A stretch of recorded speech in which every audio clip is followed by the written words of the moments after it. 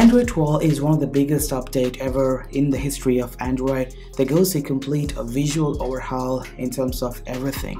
The new system animations, notifications, system controls, brand new widgets and themes are eye-pleasing which makes us try Android 12 right now. Now as of now, Android 12 is in beta and getting tested in most of the Pixel devices.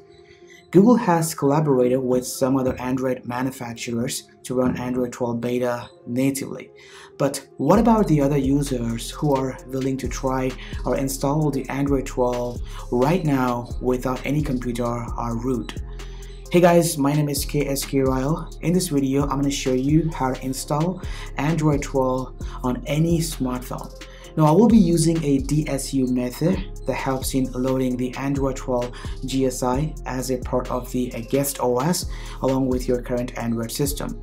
Now for this process, you don't need any computer or laptop to install Android 12.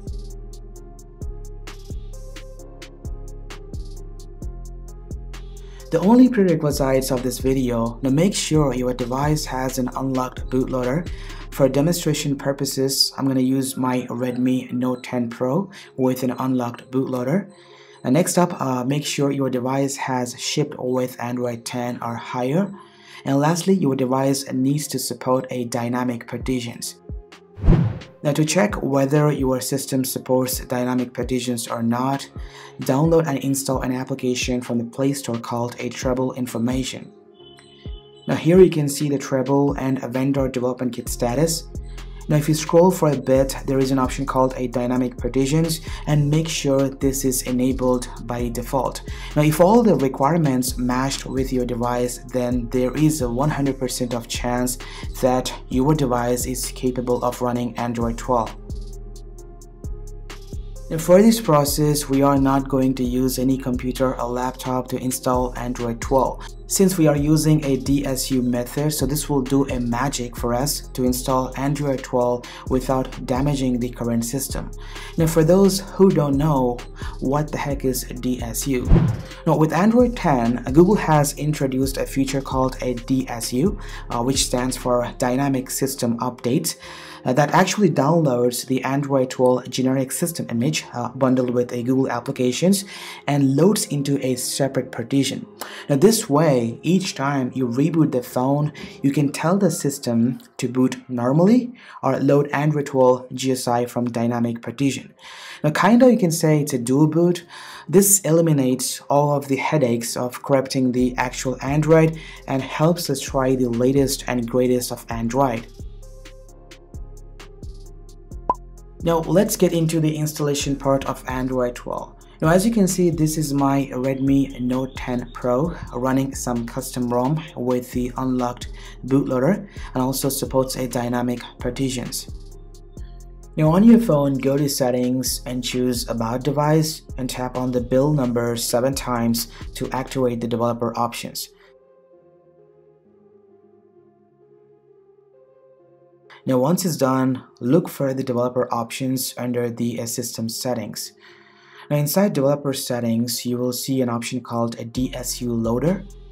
Now go ahead and select this option and this will show the available GSI. By the time of recording this video, Android 12 is in developer beta, so I would pick the uh, second option which contains the Google applications bundled with Android 12 GSI.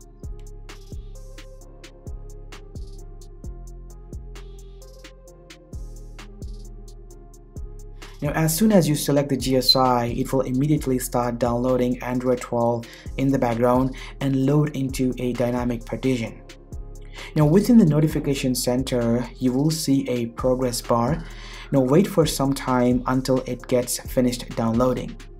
Now if in case you see any error as a DSU installation has failed, then make sure your device meets the requirements which I mentioned or check the link in the description for more information. Alright, as you can see the download has finished and you can see a persistent notification with two options restart and discard. Now keep in mind do not tap on a discard, uh, this will delete the newly created partition.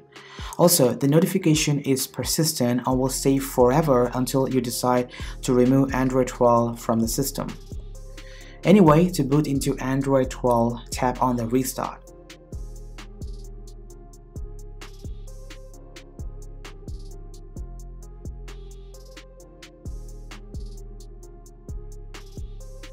Now that's it, now your system should boot into Android 12 from the other partition without damaging your current Android system.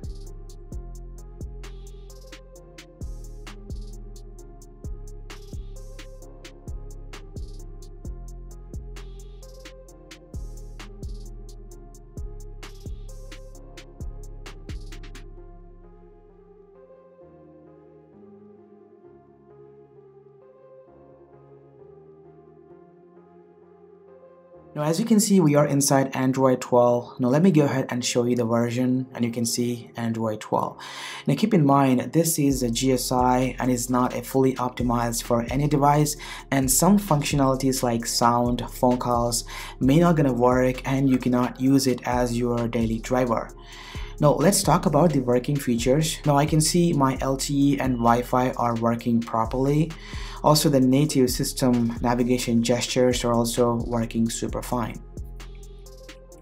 Now overall I would say Android 12 is going to change everything and you will definitely love it for sure. Now if you want to switch back to the original Android version you can simply a click on the restart and this will boot your system into a main Android. Now using this persistent notification you can switch back and forth between Android 12 and the current Android operating system hassle free. So what do you guys think about it? So let me know in the comment section down below. So thanks for watching this video.